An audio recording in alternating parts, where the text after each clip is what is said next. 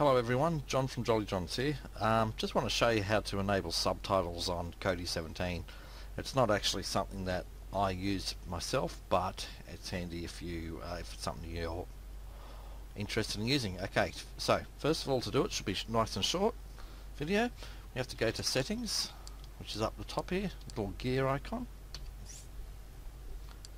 Then we select player settings. Next we want to go down to language.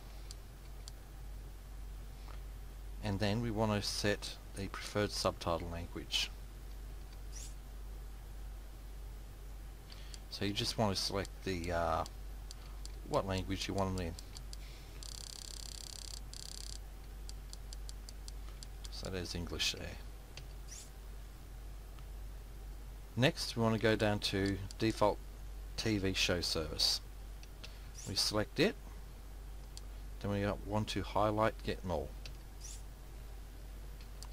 and we should go down to one here which is OpenSubtitles.org select that one. And wait for it to download. There we go. And then we want to do the same for default movie service.